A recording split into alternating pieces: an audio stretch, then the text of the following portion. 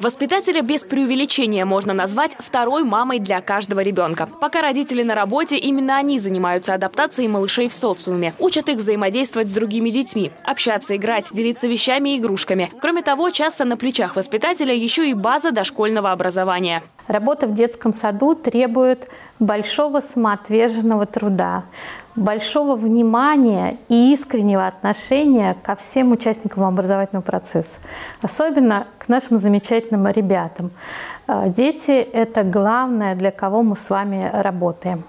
Галина Трифонова отдала работе в саду 48 лет. За это время она выработала собственную тактику взаимодействия с малышами. Говорит, дети лучше всего воспринимают информацию, когда преподносишь ее в игровой форме. В свой профессиональный праздник у нее открытый урок. Рассказывает ребятам о фруктах. На примере загадок, сказок и стихов.